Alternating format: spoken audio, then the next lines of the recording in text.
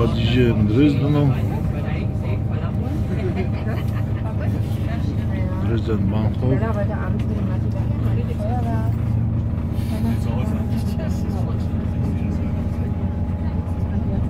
Könnte vielleicht das ist auch so eine Stelle.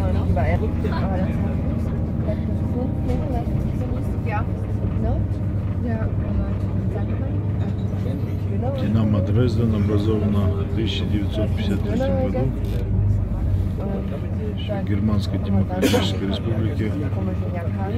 Здесь Германии я был в 85 с 85 по 87 год, потом в 96 году, в 2008, 2010 и в этом 2015 году в Берлине.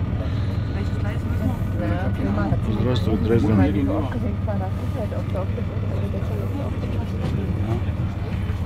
Tschüss.